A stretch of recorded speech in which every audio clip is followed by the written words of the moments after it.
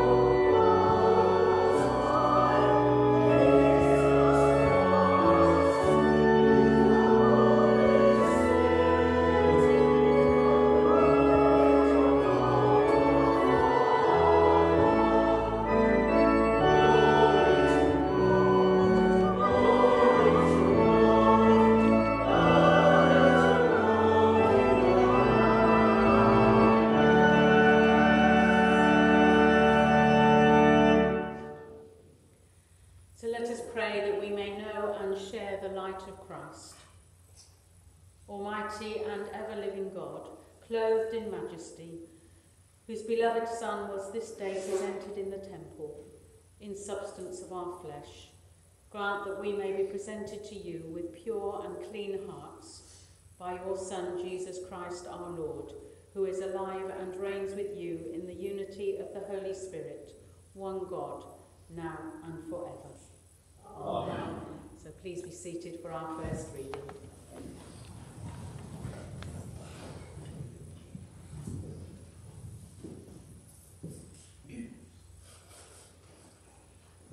Today's first reading from the Old Testament is from Malachi, chapter 3, 1 to 4.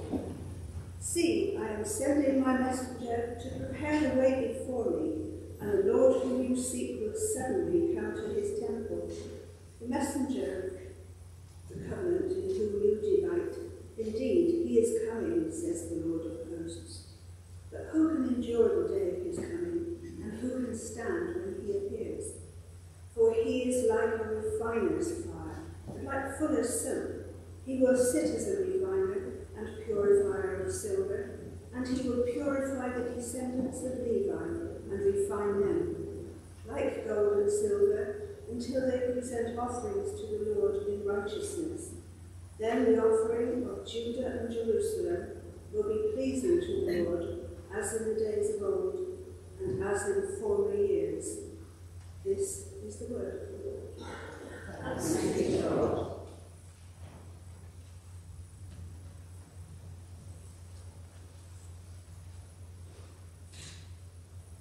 The New Testament reading can be found in the second chapter of the letter to the Hebrews, beginning to read at verse 14.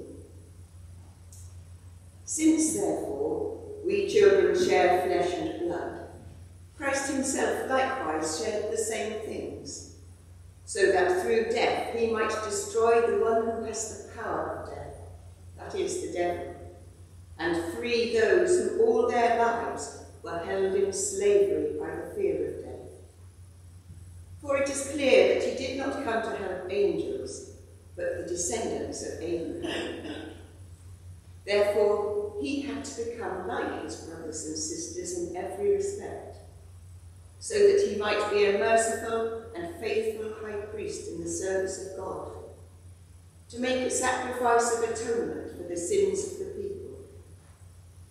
Because he himself was tested by what he suffered, he is able to help those who are being tested. This is the word of the Lord. Thanks be to God. To stand now to sing our next song, number 202, Give Thanks with a Grateful Heart.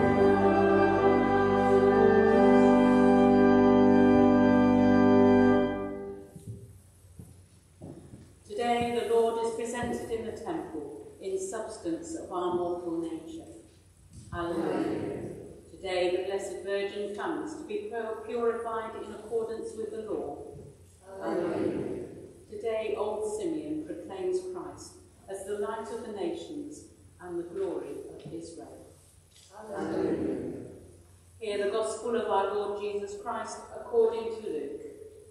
Glory to you, O Lord. When the time came for their purification according to the law of Moses, Mary and Joseph brought Jesus up to Jerusalem to present him to the Lord.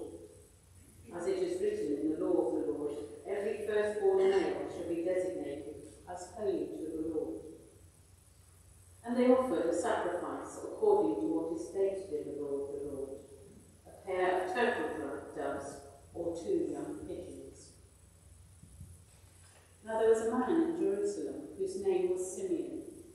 This man was righteous and devout, looking forward to the consolation of Israel, and the Holy Spirit rested on him. It has been revealed to him by the Holy Spirit that he would not see death before he had seen the Lord's Messiah.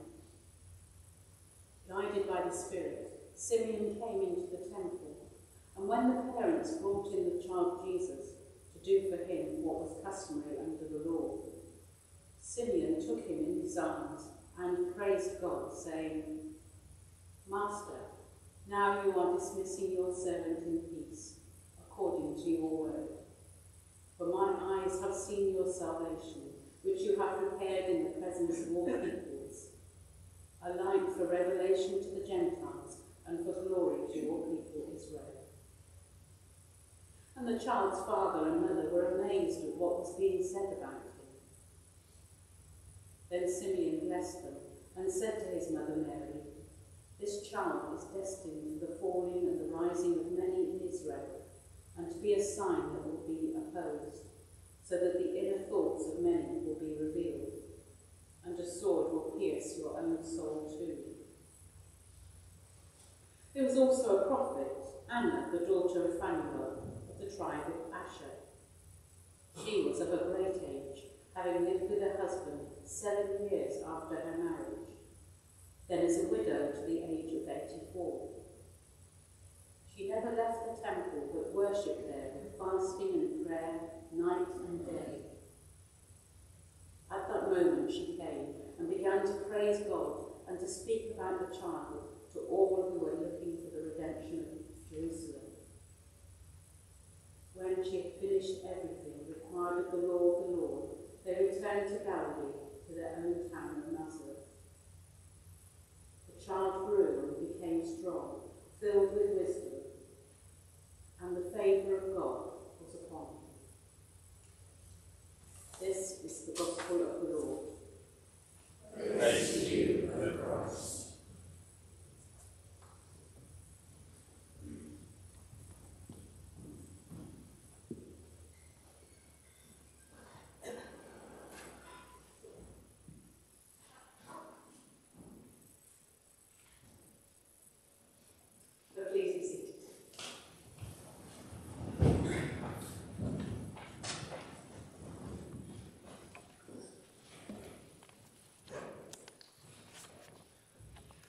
So let's pray. May the words of my mouth and the meditations of all of our hearts here be acceptable to you, Lord, our Lord and Saviour. Amen. Well, I don't know if you've ever met anyone who's so obsessed with something that everyone else thinks they're a bit loopy. When my son was younger, he was obsessed with football and other sports like that. He still is, actually. He loves football. You might know someone who's involved in extreme sports. And the purpose of extreme sport is to take a sport as far as it can go to get the ultimate thrill. A few years ago, John and I went to Victoria Falls, and there was someone who was bungee jumping off one of the bridges there. That's the sort of thing. Or abseiling. Or mountaineering. In our reading, we've heard about two old people who all lived their life extremely like that. They were waiting and watching for one thing. Simeon and Anna were after seeing God, and they were determined not to do anything until they had seen God's salvation. They'd been there for years. Anna had been a widow for at least 55 years, and all that time it says she only wanted this one thing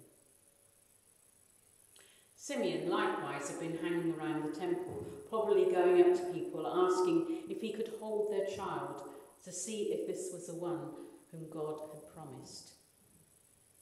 Be honest, if someone acted like that nowadays, we'd probably be looking at him with suspicion as to his motives. So I'm looking at Eddie, the safeguarding officer. Think about what this means. Simeon has been promised that he will see the Messiah, the Christ, the one whose name means salvation. And that promise was made nearly 200 years before it was fulfilled. Simeon must have lived all of his days, his years, decades even, with hope, trust, expectation, and anticipation. Every day for those weeks, and months, and years, Simeon is left waiting and wondering is this the day? Is this the day I will see salvation? Or is this the day that I'll give up hope? Is this the day I will experience the fulfillment of the promise? Or is this the day I will despair of it being fulfilled? Simeon's life was one of expectation, anticipation, and waiting. And who among us has not had his or her life characterised by expectation, anticipation, and waiting? We've all stood in that place waiting for and needing something to happen, living in expectation and hope, anticipating the future, and wondering if today was the day. We got up in the morning and had to decide whether we still believed in God's future or whether we would give up. We all know what it's like to wait. Waiting for life to change. Maybe for the grief to go away. For a prayer to be answered. For joy to return. Forgiveness and reconciliation for clarity about a decision we're about to make, for meaning and purpose, for healing. We wait and hope for all sorts of things. We have all sorts of hopes and expectations for what God is doing in our lives and our world. And I think we've all come here this morning with some hope, some need, some expectation. We come here trusting and anticipating the promise that God is present and working in our lives, even if we can't see or clearly understand what it might be. So we show up and we wait for the miracle. And that's what Simeon did. So, what's the miracle for Simeon and for us? I don't think it's that Simeon lived to such a great age. And it's not that Simeon held the baby Jesus. And it's not that Simeon's eyes saw salvation or that Simeon had been set free to go in peace. Those things are happening all the time. The presentation of Jesus is all around us. So, what is the miracle for Simeon. So here's what I think the miracle is Simeon continued to show up. He continued to be vigilant and attentive. He continued to trust the promise. And he continued to wait with hope and expectation. He never despaired. He never walked away from that promise. The miracle for Simeon and for us is the showing up. Sometimes showing up is the most difficult work we do, and it takes all we have to just show up. But it's always the question before us will we continue to show up? Will we be awake and vigilant? Will we live with hope and trust? Showing up is the means through which God fulfills the promise to us and to Simeon. Simeon thought he was waiting for the child to show up. But what if it was really Jesus waiting for Simeon to show up? Simeon thought he was presenting the child to God, but what if it was really the child presenting the old man to God? Every day that Simeon showed up, the child Jesus was seeing and upholding Simeon. And that's what Candlemas, or this feast, is all about. And I was reading a story this week about an old lady named Jimmy. Jimmy is a lady. And every week, Jimmy showed up at church. Every week, Jimmy's caregiver would lead her by the arm and help her to find a place to sit. Jimmy was essentially blind and often confused and unaware of what was going on around her. Her caregiver would lead Jimmy up to the altar rail. She would kneel down, look up at the priest, and say, For my eyes and for my mind. Every week, Jimmy was anointed with oil, hands laid on her head, and prayed for her eyes and her mind. And then her caregiver would lead Jimmy back to her seat. Then again, when it was time for communion, Jimmy's caregiver would bring her back up to the altar rail. And she held out her hands to receive the body of Jesus, the one whose name means salvation. This happened week after week. Jimmy continued to show up every week for two years it was always the same. For my eyes and for my mind, she would say. And every week Jimmy was just as blind and confused when she left as when she came. Well, I couldn't help but wonder what was going on here. And then one day it struck me. This is Simeon. This is the power of showing up. Somehow, in Jimmy's showing up, she understood with a confused mind what I, first of all, didn't understand that Jesus was presenting her to God. She saw with eyes that were blind what mine initially couldn't see, and that was her own salvation. Every week she came and experienced this, and every week she was set free to go in peace. Her showing up was the fulfillment of God's promises in her life. She showed up to Christ, to salvation, to freedom from blindness and confusion, and to peace. She showed up to claim what was always already hers and she showed up to the reality of her life. What Simeon and Jimmy experienced can be ours too, if we but show up. The presentation of Jesus doesn't happen in the Jerusalem temple, but in the temple of our lives. Every moment of every day, day after day, month after month. It happens in the midst of waiting. It happens every time we show up in the reality of our lives. So let's show up and claim what is already ours.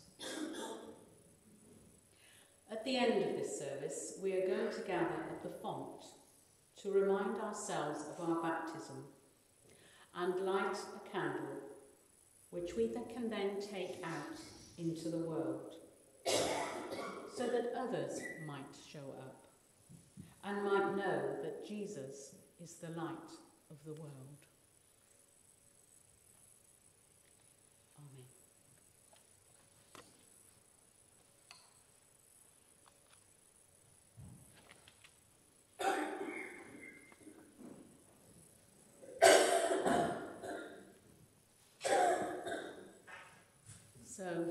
as we show up and declare the words of the um, creed, let's stand.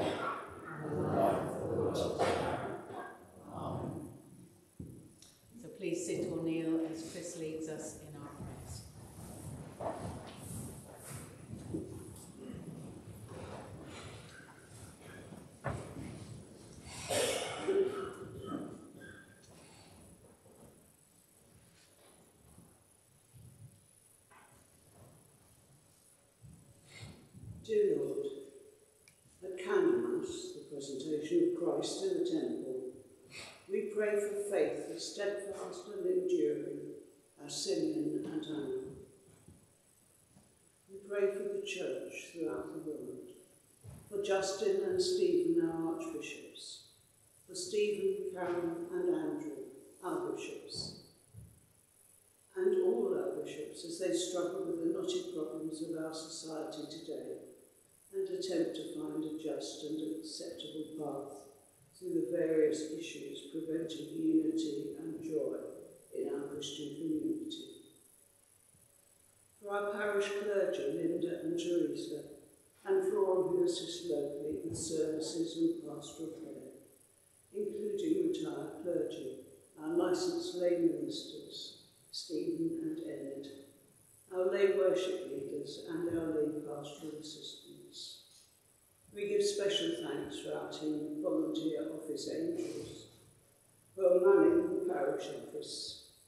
Guide them and strengthen them to carry out their many responsibilities with your love and protection. Lord, in your mercy, we pray for your world and its inhabitants, especially for the people of Af- Afghanistan, Iran, Iraq, Myanmar, Somalia, South Sudan, Syria, Ukraine, with special prayers for those who have become refugees because of conflict. We hold before you the victims of violence and for those who have lost their homes because of natural disasters or famine. Lord, please guide the leaders of this and every nation in the ways of justice, peace, respect for the environment and their fellow men, so they may seek the common good. Lord, in your mercy. We pray for the King and members of the royal family as they prepare for the coronation in May. And for our government, attempting to manage escalating costs, inflation, and to minimise the effects of both on the poorest members of our society.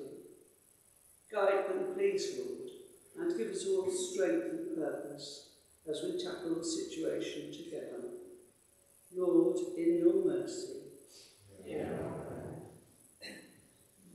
In this time of harsh weather and difficult financial times, we give thanks for all the local initiatives providing warm spaces so that our local people can be warm and save money on heating costs. We pray for our local schools, preschool carers, and all teachers, youth workers, local police officers, and all volunteers who assist in guiding our young people. Lord, in your mercy. Lord, be near anyone who feels they can't go on today. Help us all to look to you for inspiration and hope, whatever lies ahead. We hold in your presence all who are being cared for in this parish and thank you for the care and dedication of the staff.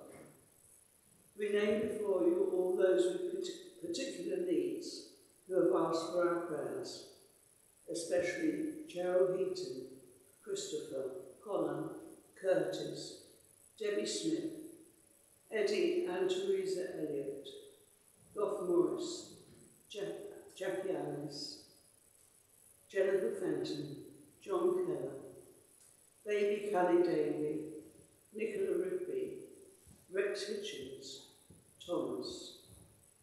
May they know your presence with them and that you are their strength and their healing and their salvation. And for all those who mourn the loss of loved ones, we ask for comfort and support, especially praying for the friends and relatives of the recently departed Claire Biggs, James Nyman, John Pearl, Andrew Scrivener, Kathleen Cole, Vic Shepherd, Mark Watson, and Patricia Whitehead. We give thanks for the lives and inspiration of all your saints and seek to follow their example as we prepare for and approach the season of Lent. Merciful Father, accept these prayers for the sake of your Son, our Saviour, Jesus Christ.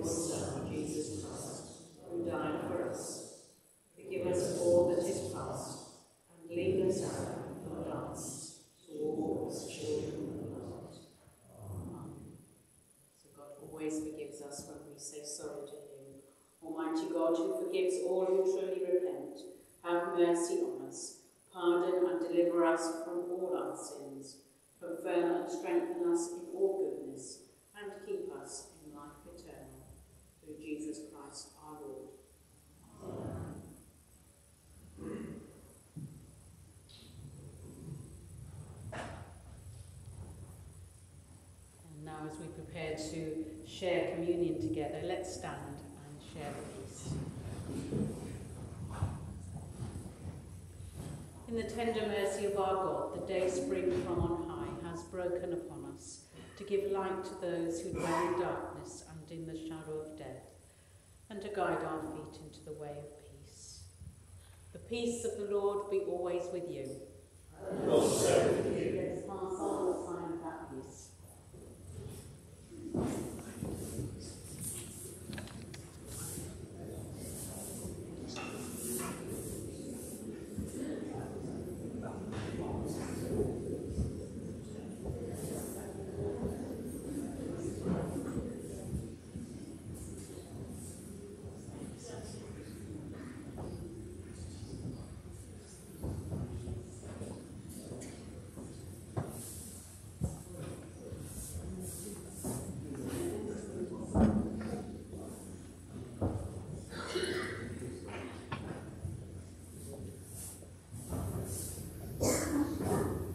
So as we come back to our places, we're going to stand to sing our next hymn, number 428, Love Divine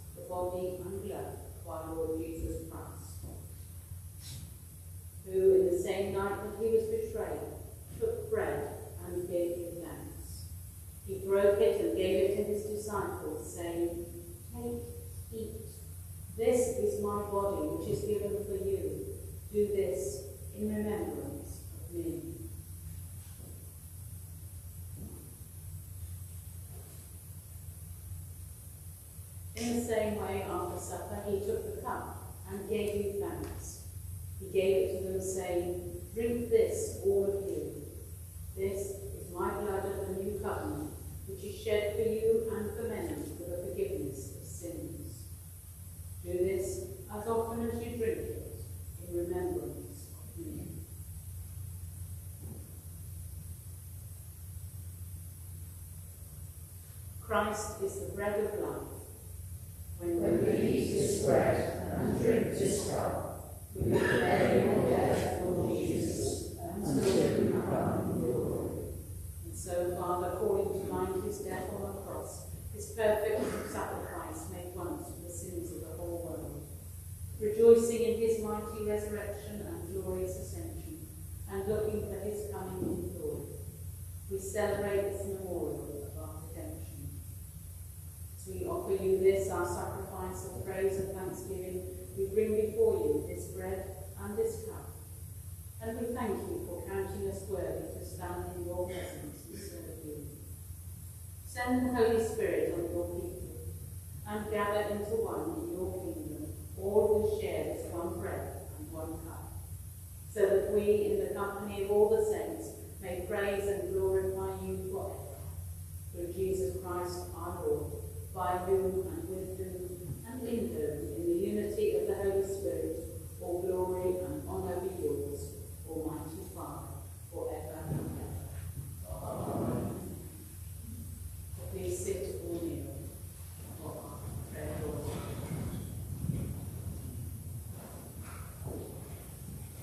believing the promises of God, let us pray with confidence as our Saviour has taught us. Our Father, who art in heaven,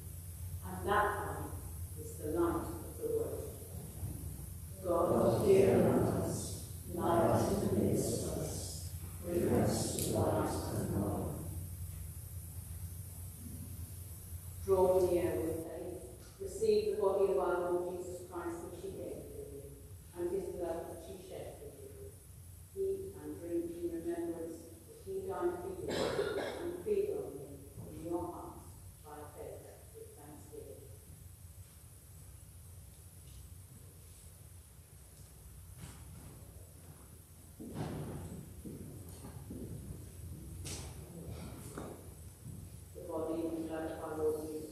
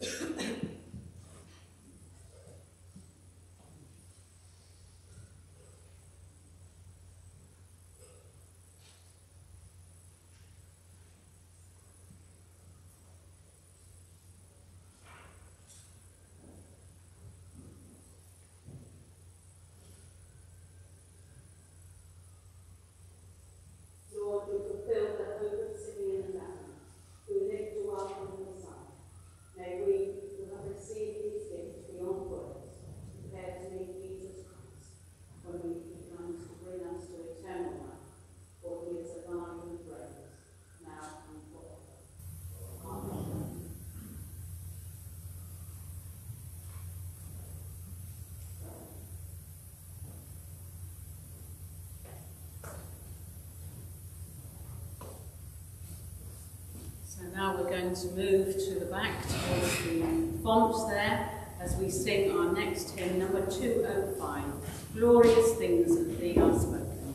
The choir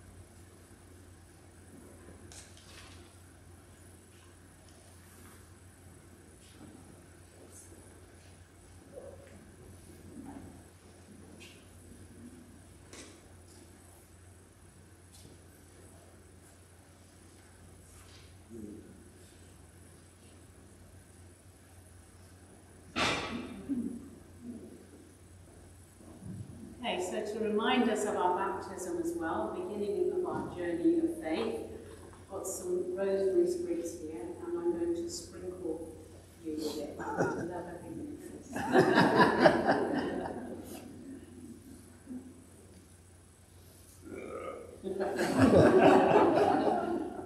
Reach over there.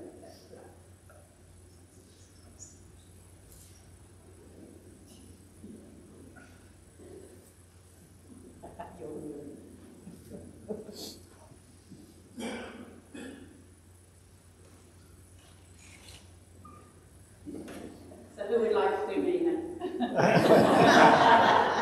It's a rush. Extra. I'm going to jump.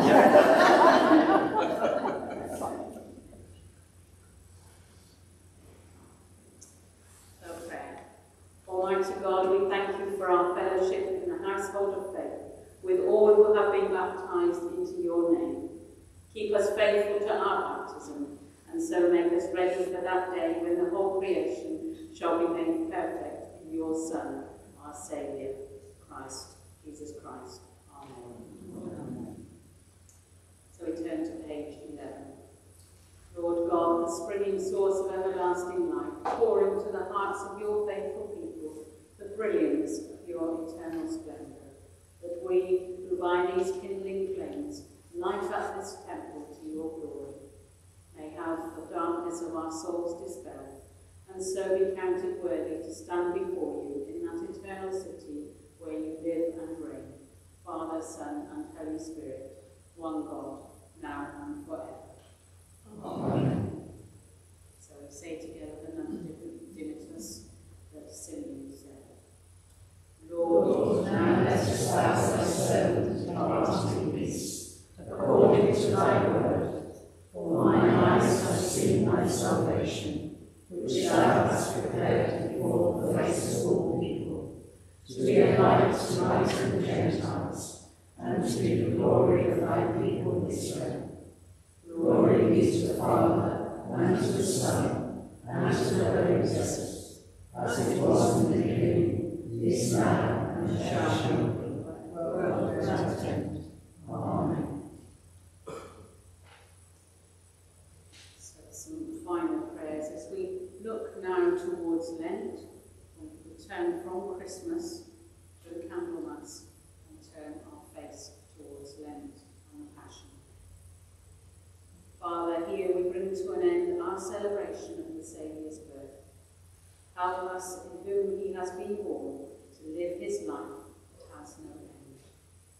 Here we have rejoiced with faithful Simeon and Anna. Help us who have found the Lord in his temple to trust in your eternal promises. Here we have greeted the light of the world. Help us who now extinguish these candles, never to forsake the light. Here we now stand near the place of baptism. Help us who are marked with the cross to share the Lord's death and resurrection. We turn from Christ's birth to his passion. Help us, for whom Lent is near, to enter deeply into the Easter mystery. And we bless one another in your name. Help us, who now go in peace, to shine with your light in the world. So we join in with the blessing on the last page there. Christ, whose glory fills the sky, fill you with radiance and scatter the darkness from your path. Amen. Christ, the Sun of righteousness, gladden your eyes and warm your heart. Amen. Christ, the dayspring from on high, draw near to guide your feet into the way of peace. Amen. And the blessing of God Almighty, Father, Son, and Holy Spirit, be with you and remain with you this day and forevermore. Amen. Go in the light and peace of Christ. Thanks be to God.